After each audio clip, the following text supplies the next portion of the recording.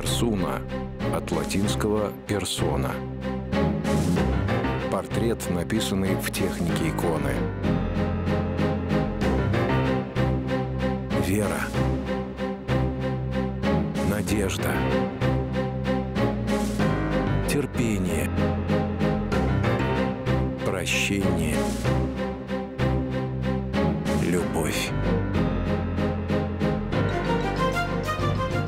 Авторская программа Владимира Легойды «Парсуна». Здравствуйте, уважаемые друзья! Мы продолжаем писать парсуны наших современников. И сегодня у нас в гостях Максим Сырников. Максим Павлович, здравствуйте. Добрый день. Я очень рад вас видеть. Спасибо. У меня есть большая личная заинтересованность. Ваш большой поклонник, мой сын Рома, просто давно-давно мечтал. Даже порывался сам провести эту программу, но в итоге удовлетворился тем, что самим фактом вашего присутствия. Спасибо огромное. Спасибо. А, у нас э, пять частей в программе «Вера, надежда, терпение, прощение, любовь». Это связано с окончанием молитвы оптинских старцев. «Научи меня молиться, верить, надеяться, терпеть, э, прощать и любить». Прежде чем мы к первой теме перейдем, хочу вас попросить вот по традиции, которая у нас сложилась, ну не то чтобы представиться, а вот сказать здесь и сейчас, что вы считаете важным сказать о себе. Вот вы кто? Я пор, пор странствующий, странствующий по России, по миру, по жизни. Вера. У меня практически вот интерес к этому пропал, от гастрономической части. А как вот вы относитесь к позиции «я православный, потому что я русский»? Мне рассказывали, что был такой эпизод в вашей жизни в детстве, когда вы отказались надевать пионерский галстук. Нет, это не так было. Не, не, не так было? А как, как... Нет, я не, отказ... я не отказывался. Я отказался... Э, у меня я крестик носил в школе, носил ага. крестик. И э, учительнице физкультуры это очень не понравилось.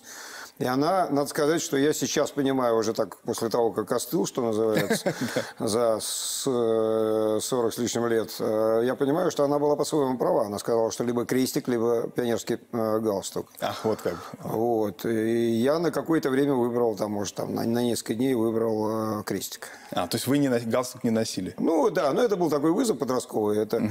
Я, я, я не, как бы не склонен преувеличивать там, свой, в данном случае. Вот такой. Ну, такой был, да.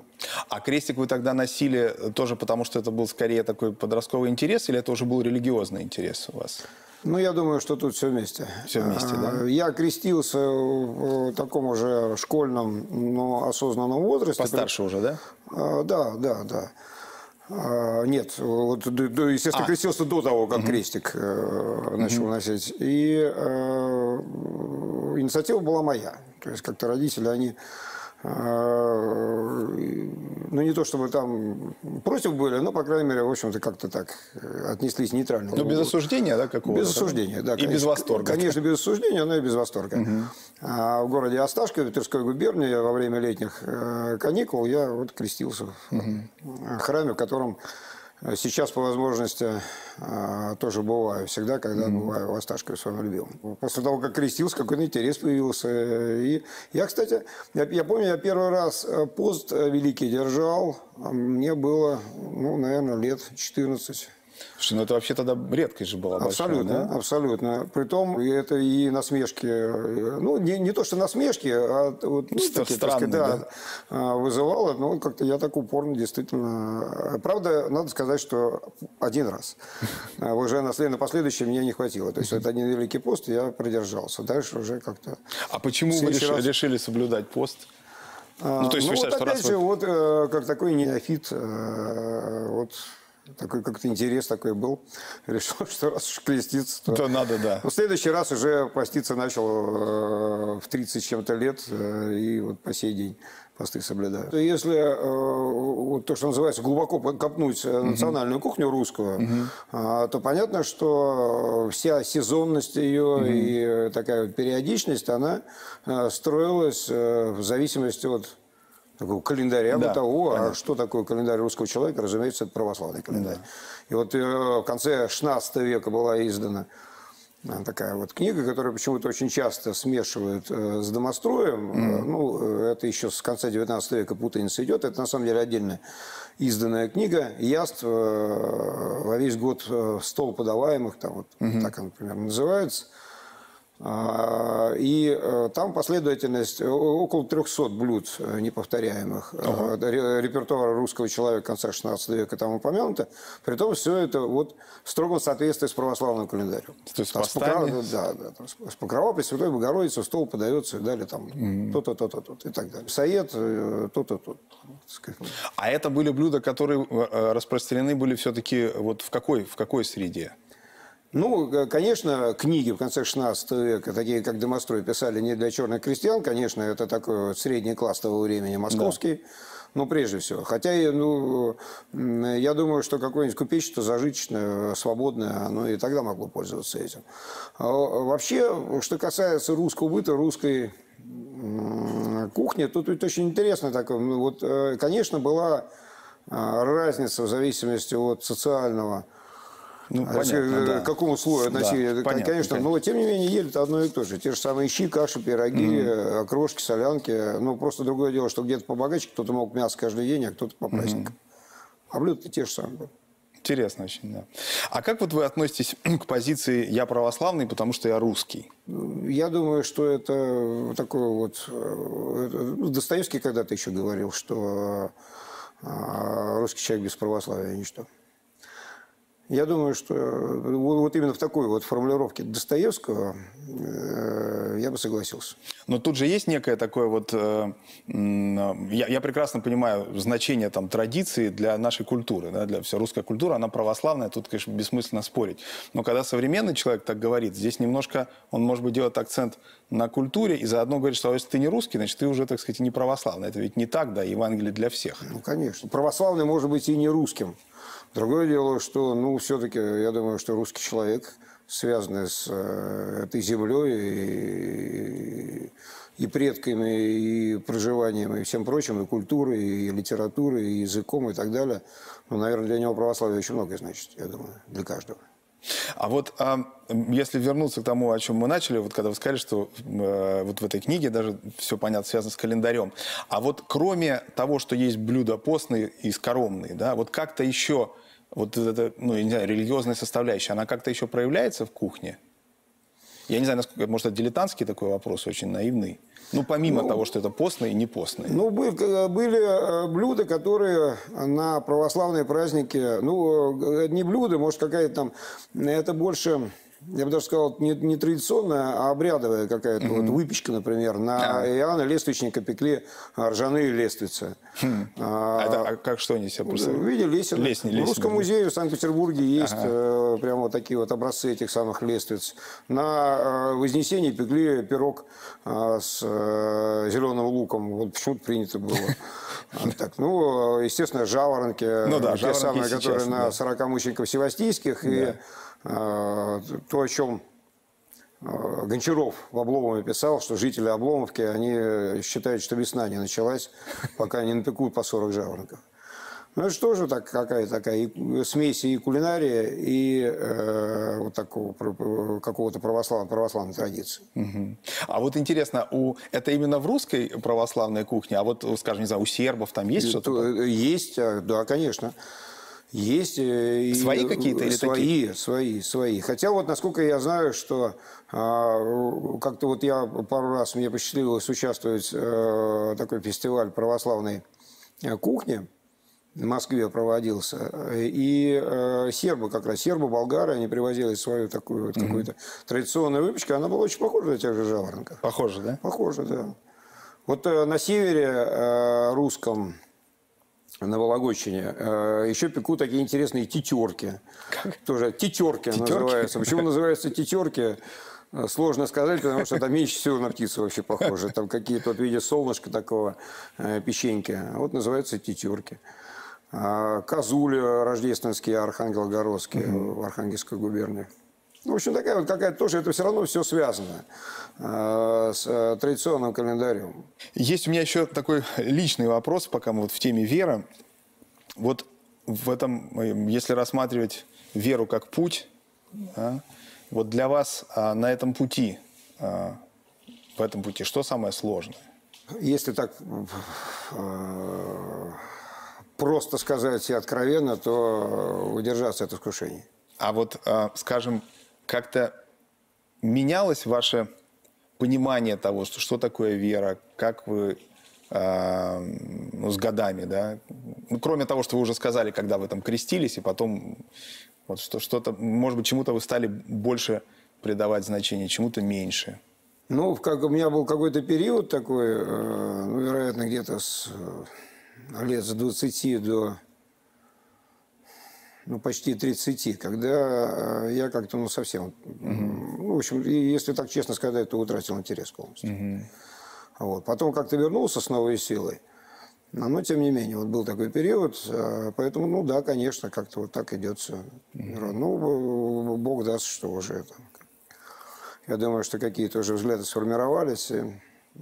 Хотя, конечно, бесконечные какие-то и новые знания, новые понимания, и э, взгляд, может, не меняется как-то, уж тем более радикально, но, во всяком случае, по-другому начинаешь смотреть на некоторые вещи. Вот я, кстати, если обратно вернуться угу. к кулинарной теме, да. Э, уж куда там от нее деться, да. для меня еще лет 15 э, тому назад вот очень было важно, ну даже, может, и поменьше, чем 15, очень важно было вот э, встреча Пасхи. Это мой самый любимый праздник. Угу. Притом, я думаю, что всю жизнь. А, Пасха. И э, вот эти куличи, там, угу. творожные пасочки, вот какие-то угощения.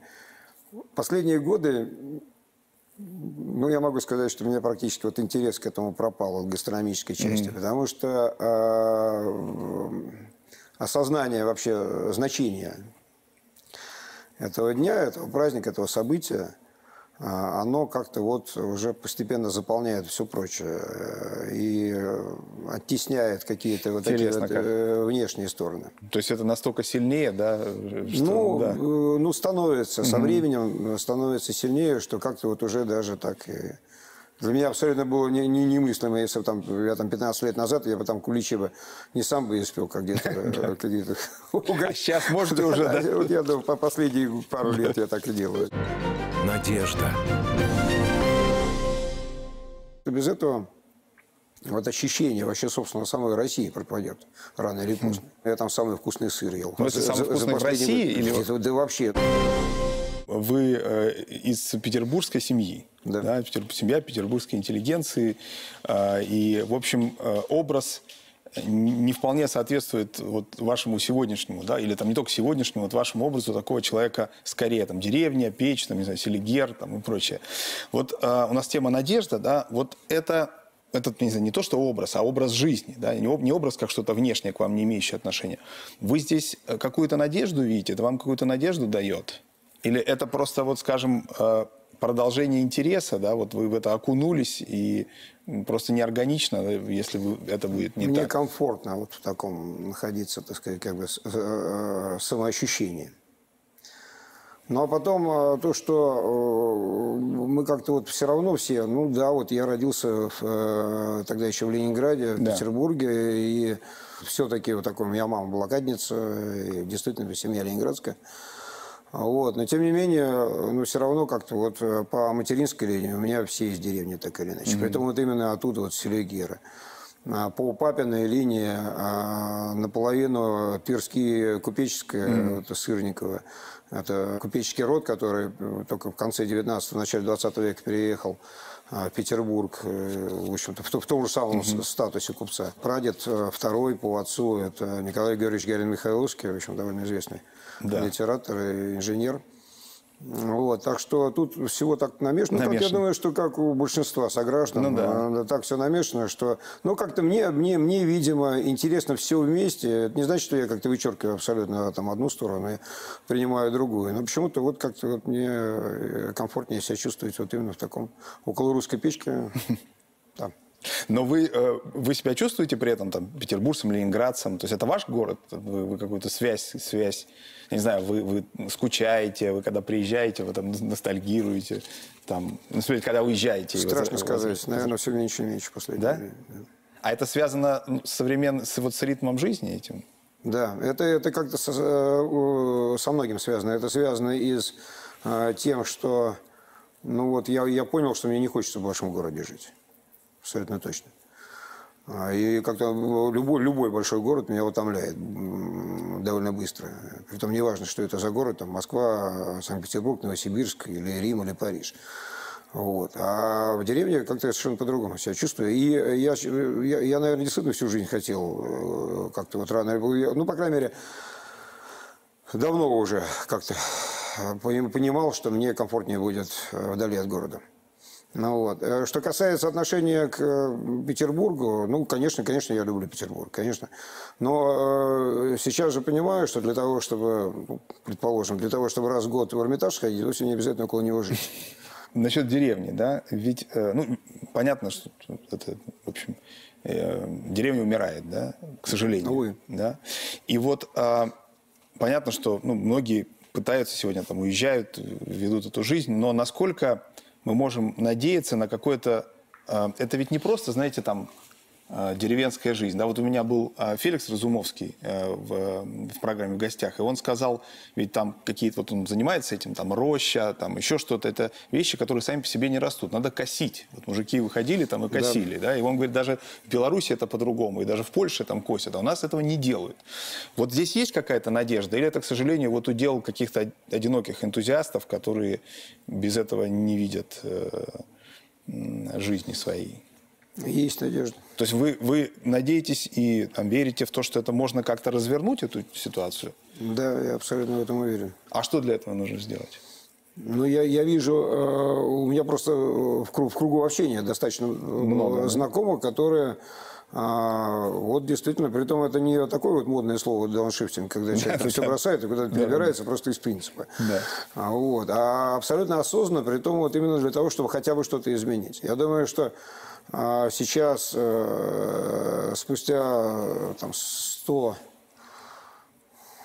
с лишним лет, там 150 лет практически, вот это движение народничества, которое было в конце 19 mm-hmm. века, оно немножко перевоплотившись, повторяется, но уже не в виде фарса, а в виде mm-hmm. такого более осознанного и более ну, как, с, с большим пониманием, я бы сказал. Я как-то я очень интересовался вот этим вот угу. э, тем, что происходило. Угу. А, и, и в конце, там где-то 70-е, 80-е годы 19 века, и на рубеже веков, и в более поздние времена. Я понимаю, что э, тогда было какое-то такое более наивное, более поверхностное, что ли, угу. представление о том, как обустроить русскую жизнь, как обустроить русскую деревню, как угу. вот это, э, быт крестьян. Сейчас оно уже более жесткое, более прагматичное. Прагматичное, да? И люди, которые туда переезжают, они уже, в общем, особых таких э, розовых очков-то не носят. Угу. Они при, при, представляют, с какими сложностями они сталкиваются, они представляют, какую глыбу придется свернуть. И э, вот это самое чеховское, э, описанное Чеховым, точнее, прекрасно душа, когда я там свои костюмы раздам крестьянам, а вот, это уже далеко-далеко где-то находится в давней истории. Сейчас уже по-другому. Э, вот у меня есть знакомые, которые э, фермеры угу. или э, где-то э, в как, каких-то райцентрах живут и э, небольших и занимаются каким-то, ну то, что называется бизнесом, угу. и, или производят какие-то там продукты у себя угу. и так далее. Они же все уже там весь мир объездили. Они все представляют, как вообще мир устроен. Устроен. Угу. И что, как, где. Это не значит, что э, вот копировать слепо. Но, по крайней мере, есть представление о том, что мир немножко по-другому устроен, чем представлял себе там, какой-нибудь э, народник там, э, конца XIX века. Вы говорите, что есть надежда на то, что это будет, ну, не то чтобы восстановлено, да, но что там жизнь появится, да? А вот сама эта жизнь, вот, допустим, она появится, она какую надежду нам даст? Что она поменяет в нашей жизни? Ну, то, что вообще э, без деревни без э, вот какого-то сельского производства, сельскохозяйственного угу. производства такого, э, не э, когда все делается на заводе каком-то производится, там зелень какая-то выращивается, видел я такое. Угу. Вот. А когда все это все-таки с более-менее такой какой-то степени традиционности производится, я думаю, что без этого вот ощущение вообще, собственно, самой России пропадет рано или поздно. Ну, мне так кажется. Я понимаю, что, может быть, это, ну, как-то слишком так уж э, сказано, э, может, с папусом, с некоторым. Вот. Но, тем не менее, мне кажется, что все-таки мы так устроены, что э, большая часть... Э, большая часть России это не, не, не крупные города. Ну, да. И все-таки вот оттуда вся наша какая-то национальная культура все-таки оттуда идет. И самоощущение, и такое ощущение русскости и так далее. А есть вот какие-то, вы же много очень путешествуете, есть какие-то регионы, где вы чувствуете особую вот эту жизнь там прям? Да, конечно. Ну, здесь больше сейчас э, э, сложно говорить. Э, я думаю, что потенциально все регионы, угу. они так или иначе готовы к тому, угу. чтобы как-то вот возрождаться. И, и бывают какие-то стечения обстоятельств, как, например, там Белгородская область. Вот э, да. вдруг бабах, и оказалось, что там э, я был там вот несколько раз за последнее время. Вот Хотите верить, хотите нет, но я там самый вкусный сыр ел. А, в смысле, за, самый вкусный за в России? Или... Это, да вообще, ну я, я вот, как бы по, по Франции, по Италиям поездил, да. я, я сыр-то попробовал всякого. Всякого, да, да. А вот я могу сказать, что ну, это фантастический сыр, который производится в Белгородской области. У них молочное производство. А это фермерский какой-то? Фермерский, да? да. Притом это какое-то семейное предприятие какие-то, которые производят, они между собой кооперируются. Вот. Это какая-то жизнь все-таки все равно идет. На Алтае, э, вот э, ездили там, приехали к фермерам, они производят так называемые смоленские крупы, которые вообще никто уже сто лет не производит в России. Просто потому, что они прочитали где-то, им интересно стало. Они жернова сами смастерили и начали вот эти самые э, гречку, которую сами выращивают, делать смоленские крупы. Которых, еще раз говорю, что там в 19 веке это была самая дорогая гречневая крупа, угу. окатанная так называемая. Уже вот, ну, лет сто точно никто не производит, а они просто на таком энтузиазме делают. Вот все равно, как ты вот видишь по людям, что э, это не просто интересно, это не просто развлечение, это не просто хобби, а это осознание выполнение какой-то такой вот своей, ну, как это громко бы не звучало, но миссии даже в том числе. Вот тех людей, которые приезжают, mm-hmm. уже обладая каким-то запасом там и знаний, и опыта, может, в других сферах каких-то приезжают и пытаются что-то вокруг себя возродить. Есть еще очень важный момент, который я тоже вижу.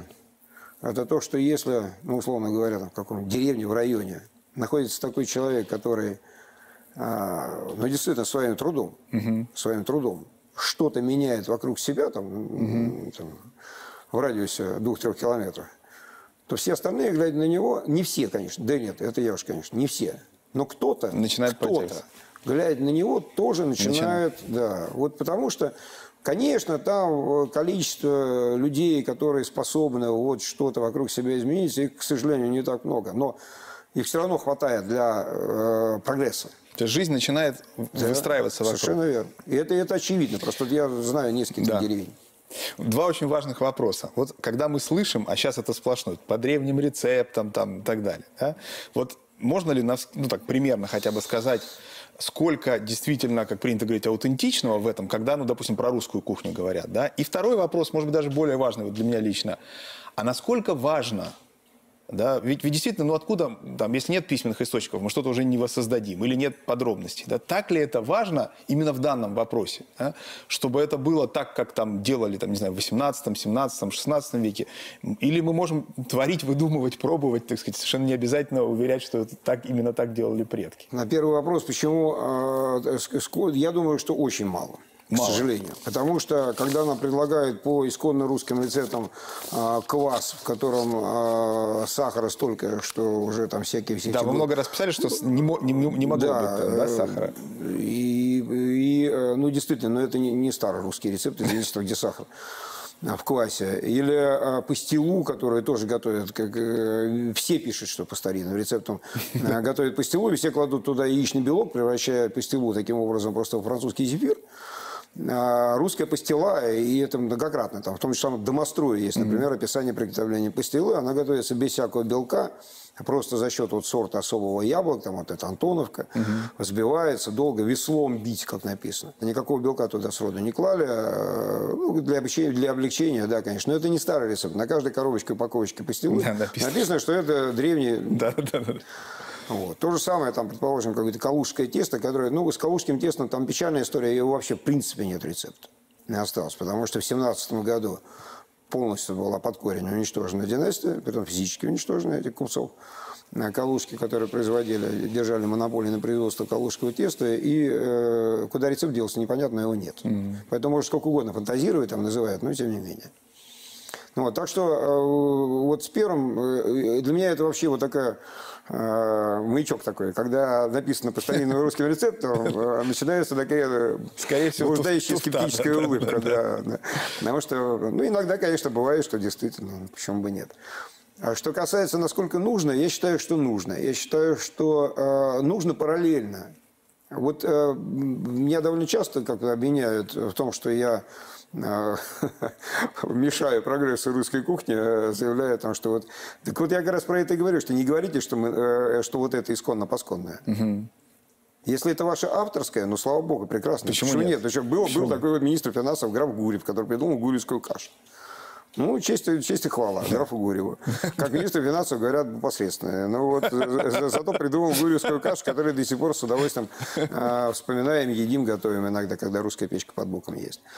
Ну, вот. Так что э, почему бы нет? Почему? Ну просто я всегда, э, как, вот, когда какие-то дискуссии с э, коллегами шеф-поварами э, встреваю, э, затеваю какие-то споры, я всегда говорю, ну, ну, ребят, ну вот давайте вот мы с нашим, э, вот прежде чем назвать, э, опять же, там, возвращаясь, там, пастилой нечто с б- яичным белком, давайте сначала приготовим, так как готовили 500 лет назад.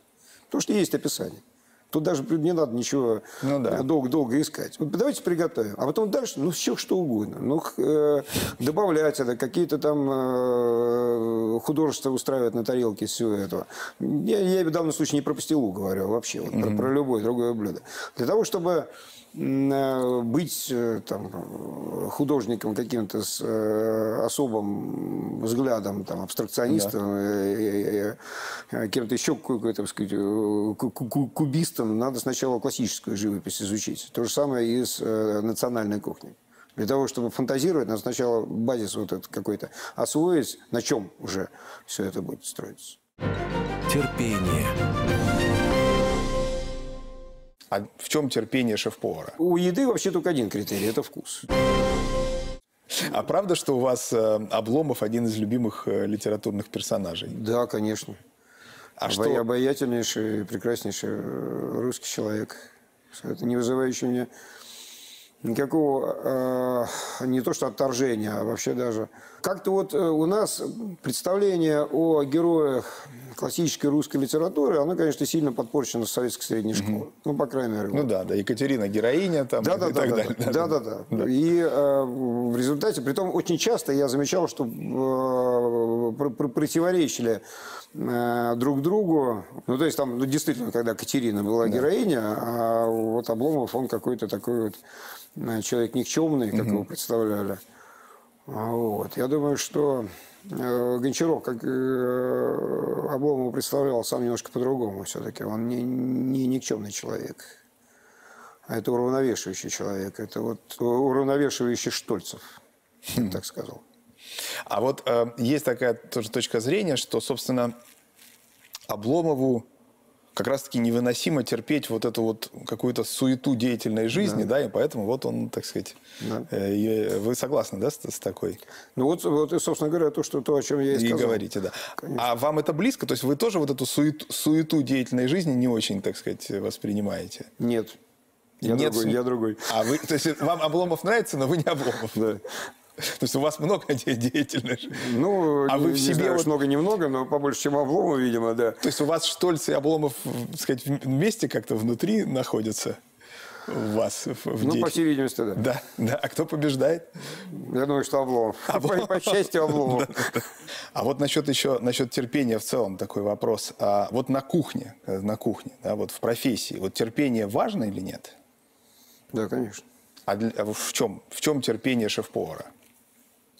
Вот именно шеф-повар, если говорить про, про профессионализм, вот я работаю восьмой год в городе Новосибирске в одном замечательном проекте, и а, вот представьте себе, что для того, чтобы а, сырники отработать, э, чтобы они были идеального качества, я считаю, что это самые вкусные сырники, вообще, которые когда-либо пробовал. А, Мы работали три или четыре месяца. То есть день за днем отрабатывали по секундам, там вот это обжарка, время э, томате, сочетание э, всех ингредиентов, которые туда входят, э, творог э, искали, вот, который вот, вот точно так- по таким стандартам он должен готовиться и так бы.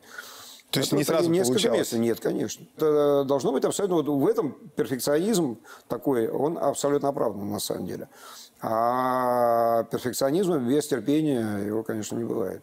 Это- А вот сцена из фильма, э, из фильмов, ну вот много же фильмов снимают, на, я шеф-повар, там главный герой, да и у нас снимают, и за границей, когда там что-то готовится, попробовал, и раз там, не знаю, тарелку, сковородку в ведро. Это реалистичная сцена? Или... Абсолютно. Да, то есть все не, не Ну, то. я, э, я еще раз повторю, что я из блокадной семьи, поэтому у нас не очень э, в семье, семье продукты, всегда да. как-то вот бабушка моя меня точно бы не поняла бы. Если, поэтому я как-то, может быть, так откровенно это не делаю, но э, такое, конечно, вполне. Но переделать, по крайней мере, безусловно. То есть даже когда гость ждет блюда в ресторане, и э, если это толковый, хороший и честный шеф-повар, и он понимает, что это не соответствует стандарту, то лучше пускай заставить повара переделать, чем подавать такое, конечно. А вот что критерием? Вот вы говорите, вот вы эти, эти сырники вы несколько месяцев там от- отрабатывали. Критерий только ваш вкус, да? То есть вы, вы должны сказать это... У еды вообще только один критерий – это вкус. Да. Ну, п- п- я, я же не говорю про такие там категории, как вредный, невредный, потому что Ну понятно, что тут это не об этом речь. Да. А вот, ну, э, внешний вид, да, конечно, они должны красиво выглядеть, но все, все равно самое главное – это вкус. Но при этом, то есть это вкус, который вы, ну, вы, вы решаете, вот это то, то не Да. то, да. Да, но в этом, а, в этом смысл вообще существования шеф-повара. Он должен ориентироваться на свой вкус. Это как, ну не может композитор писать музыку, которая ему самому не нравится. Ну смысл-то какой? Ну то же самое шеф-повар. Он, он придумывает блюда, которые ему нравятся. Прощение. Стандартизация всего начинается вот именно с еды. А вот уважение к продукту вы сказали, очень интересно. А это что такое? Я помню эпизод, э, тоже, кстати, в фильмах он часто встречается, и, ну и в жизни, мне кажется. Мы пришли в какой-то ресторан, где фирменным блюдом был там кролик в пиве, там что-то такое. И я, как мне казалось, предельно вежливо сказал, что мы немножко ограничены по времени, и попросил вот как-то это все сделать не затягивая. Мне очень жестко было сказано, что у нас ресторан медленной кухни, вот это здесь написано, он там кролик готовит 45 минут, а дальше дать как в анекдоте. Если вам что-то не нравится, ближайший Макдональдс вот 300 метров. Вот это что? Это часть какой-то такой э, ну, мифологии или эта кухня требует? Ну, это и кухня требует, и это такая возможность для ресторатора, для шеф-повара покрасоваться. Да, то есть все-таки есть. Это- да, вы знаете, есть очень известный э, шеф-повар, не воспроизведу сейчас, не помню, э, как его зовут, э, который э, э, категорически не ставит, не разрешает, э, ставит на стол в своем заведении э, соль, перец, э, вот как обычно на столах. Потому что он говорит, что если вы приходите на концерт классической музыки, вы же там не кричите э, через весь зал, и вторая скрипка погромче. там. Хорошо. То есть я посолил, да, как я считаю. нужно. Ну, интересно, что и ходят к нему. Ну, видимо, да. Ра- Раз стало известно про Ну него вообще, в принципе. Ну вот тему, тему фастфуда не могу, конечно, обойти. Как вы вообще относитесь ко всему этому? Я считаю, что... Я, я все прекрасно понимаю. Я понимаю, что действительно то, что называется темп жизни такой, и что где-то на ходу надо что-то такое перекусить, э, съесть, но э, я все-таки абсолютно уверен в том, что, вот как древние римляне говорили, я то, что я ем. Вот та- так оно и есть по сей день. Если относиться к э, еде как э, к необходимости, то есть все равно что, съем, все равно где, и побегу дальше, то, в общем-то, это, видимо, какой-то такой тоже меняет и сознание, и вообще представление о жизни и о самом себе. Мне так кажется. А Это, вот, м, ну, мое представление такое. Для вас это не только вопрос качества еды, да, но и какой-то философии жизни, Конечно, да? да? конечно, конечно. Такая стандартизация, стандартизация всего начинается вот именно с еды. Это даже не глобализация, это хуже. Это э, усреднение, при том усреднение на каком-то таком уровне очень невысоком. А есть какая-то национальная культура, вот где аутентичная кухня так представлена, и вот вам это нравится? Ну? Средиземноморская, в общем-то, Мне там как-то довелось даже э, какое-то время э, в Греции в ресторане поработать. Греческая кухня, она, в общем, такая, ну, прямо скажем, не такая известная, не такая уж с каким-то огромным количеством блюд и репертуаром, но, э, тем не менее, все равно там, там все от продукта, конечно, исходит. Угу. И вот там, где есть вот это уважение к продукту, и к и, там, и йогурту, mm-hmm. к этому мягкому сыру, который все это называется, по-разному называется, а к рыбе, к морепродуктам, которые там, к оливковому маслу потрясающему, которое там растет. Вот от продукта как раз идет и э, вот все, все вот эти... Возможно ли сделать э, фастфуд подобный Бигмаку из э, превосходных продуктов, из свежих морепродуктов, из свежих молочных продуктов, которые там, из какой-нибудь козлятины, которая в горах пасется – нет. И смысла нету. Да гораздо легче там запечь с ароматными травами этого козленка и э, подать э, салатом из э, свежайших овощей, которые там уже выращены, э, с хоро хорошей фетой и политой замечательным оливковым маслом. Тут не нужно уже никакой. Это все просто, это все из того, что здесь э, э, вот где-то выращено, поймано э, и так далее. И не надо никакого там хот-дога, гамбургера и прочего. А вот уважение к продукту вы сказали, очень интересно. А это что такое? Вот это очень, это то, что мы в родном отечестве нашем, э, увы, потеряли. Только сейчас, опять же, вот какими-то усилиями каких-то энтузиастов начина, начинается вот какое-то такое вот это уважение обратно появляться. Я приведу такой очень интересный пример, мне кажется. А, в конце 19 века, в самом начале, буквально последних годах 19 века, была издана, первое издание прошло а, такой замечательной книги, практически основа кулинарного искусства, Пелагеи Александровой Игнатьевой. Она, кстати, дожила до 50-х годов, работала простым технологом. Вот я считаю, что ее книга «Практически основа кулинарного искусства» – это вообще лучшее, что было написано когда-либо на русском языке э, о кухне. О кухне. Не только, там и про русскую кухню много, и не только про русскую, вообще. Вот как такое пособие настольное. По счастью, там э, недавно переиздали его э, уже в современной орфографии. Э, и вот к этой книге было приложение к первому изданию Александра Игнатьева, которое называл, кстати, написал ее муж Игнатьев. Он был кандидат в ветеринарии ветеринарный врач. И он написал такую тоненькую брошюрку, которая была дополнением. Называлась «Курс мясоведения». Курс мясоведения Игнатьев. И вот это абсолютно такое потрясающее открытие было для меня. Я впервые в 70-е годы 20 века на мне попала в руки эта книга. И когда я ее прочитал, вот это одно из таких а, переворачивающих все с э, головы на ноги а, информация была. А, на тот момент, в конце 19 века, в Российской империи было столько пород крупного рогатого скота, и мясного, и молочного. И вот он как раз по мясу, он говорит, что лучше для такого-то блюда там для а, брать вырезку от а, быка арзамасской породы. А вот для приготовления а, говядины по-строгановски лучше брать а, от архангельской коровы. И вот и все это оказывается, что тогда это у нас было – вот это то, о чем Гелеровский писал, угу. когда там к праздникам привозили из Ярославской области каплунов, из э, Московской э, губернии, губернии привозили там цесарок и прочее, прочее, прочее. Там вот когда привозили все с разных, и знали, и спрашивали откуда, и, и все это было ну, действительно понятно для такого среднего человека. Вот мы, мы это утратили. У нас сейчас, когда а, мои знакомые пытаются, э, ну, в общем, довольно успешно, так сказать, продавать, предположим, фермерские какие-то продукты, э, давая возможность потенциальному покупателю увидеть в режиме онлайн, как эту коровку подоили, как там mm. молочко слили, как заквасили, срок оно произвели. Но это другое все. Давно говорят, что сегодня нередко а, постной едой являются многие деликатесы и дорогие продукты. Да? И вот у меня поэтому вопрос такой на стыке аскетиз, аскетизма, аскеза и кулинарии. Вот как вы к этому относитесь? Ну вот когда там вы прощаете, что называется, когда постятся там лобстерами, я не знаю, какими-то дорогими креветками и так далее. Или можно вполне, или нужно, если это уж пост, то ты должен как-то это ощущать. Ну, я не знаю, я сам лобстерами не пощусь. Я, откровенно говоря, не знаю ни одного человека, который постится лобстерами.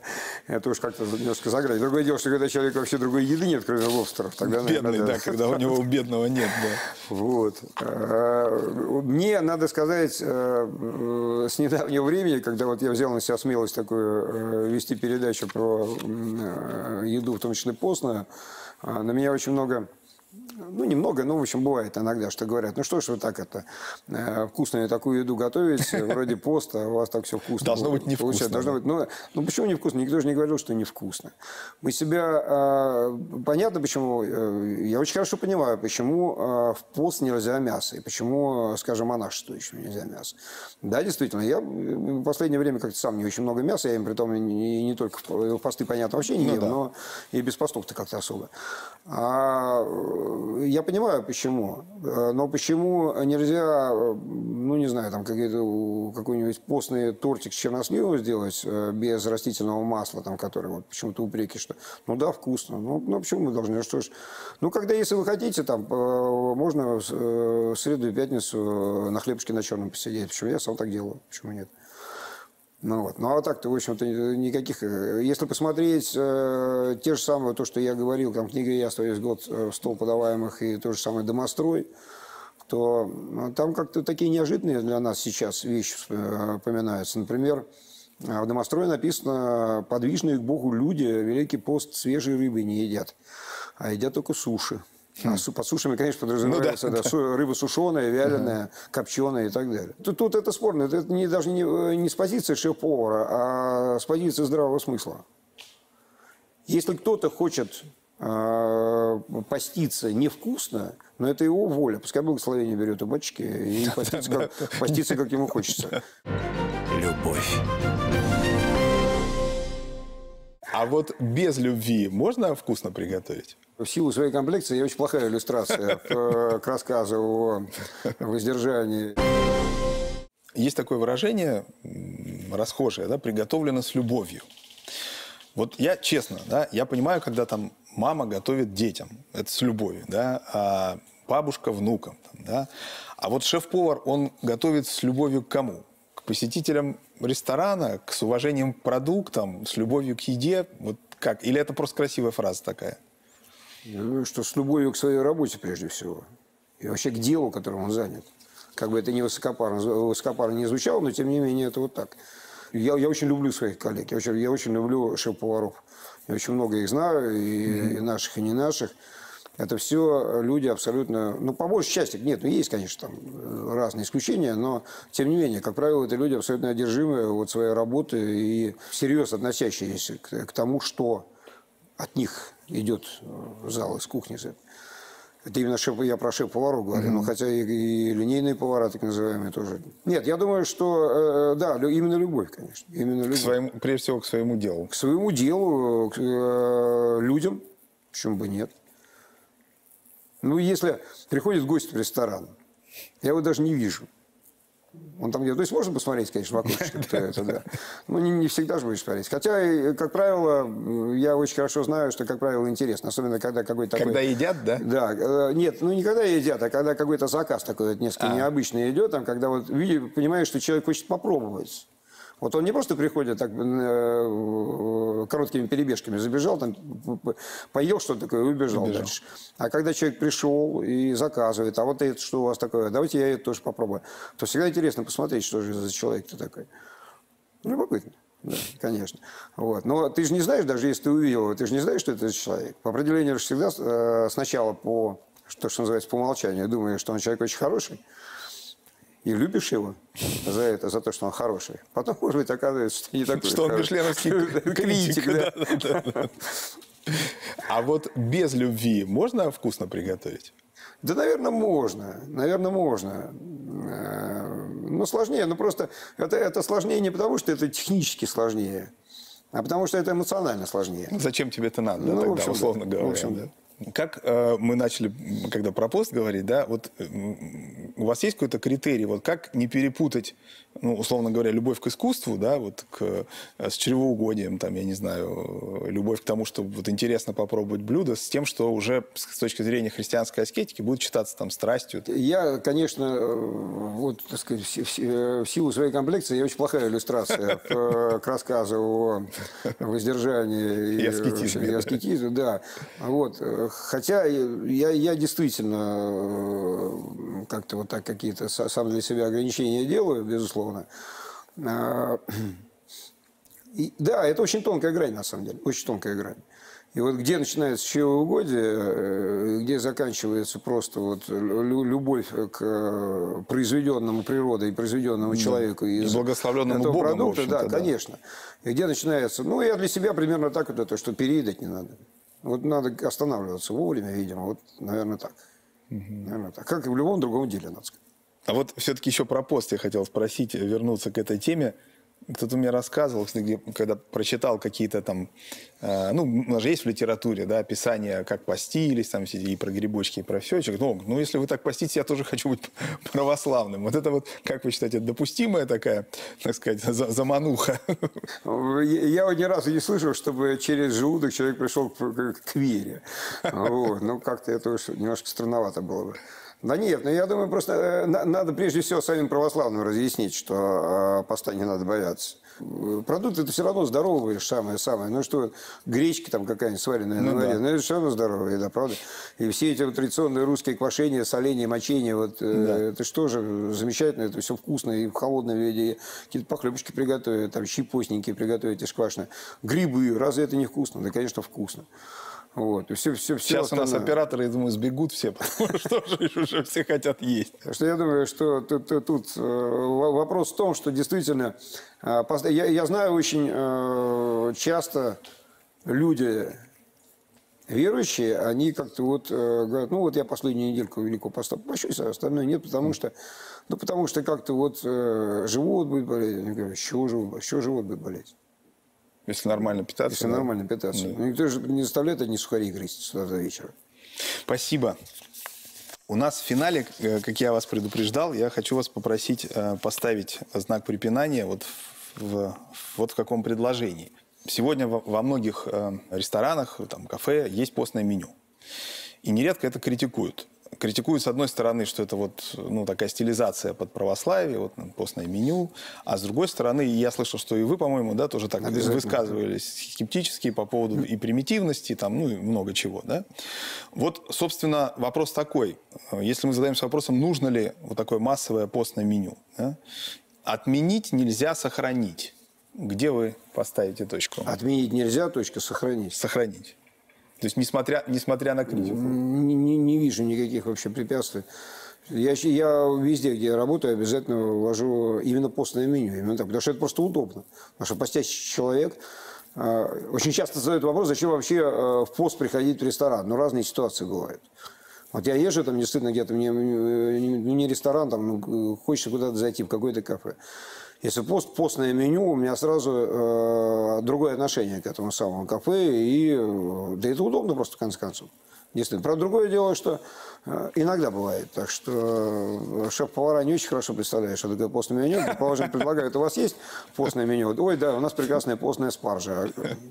Прекрасно. А как вы ее готовите? Ну, со сливочным соусом и с сыром. А прекрасную постную свинину не предлагают? Один раз было замечательно. Это было, правда, очень давно. Э, меня попросили сделать постное меню для одного э, санкт-петербургского ресторана. И э, мы, это было притом, едва ли не первое постное меню вообще в городе, по, по меньшей мере в Санкт-Петербурге. И мы объявили на весь город о том, что вот в ресторане таком-то постное меню. И пришел, это ну, начало 2000-х было. И пришел э, вот такой абсолютно классический киношный персонаж в малиновом пиджаке с э, золотой цепью. Сел, потребовал значит, э, постное меню, прочитал пять раз, уточнил, что точно щи постные грибные, точно, валаамские щи, точно постные. Заказал себе валаамских щей, поел. Она говорит, ну что еще в меню? Ну вот тут баранина у тебя есть, давай баранину. Я говорю, как же так, по милости? Но вы же он говорит, ну я же говорит, не дурак, что ты мне объясняешь, я же попастился, щей-то я поел. Такого я не слышал никогда. Вот это, это было на моих глазах. То есть я вот я общался с этим человеком. Это, это было очень давно. Это, я надеюсь, что сейчас он уже постится как положено. Спасибо большое. Это был повар, странствующий по России, по миру и по жизни Максим Сырников. А мы продолжим писать парсуны наших современников через неделю. Авторская программа Владимира Легойды «Парсуна».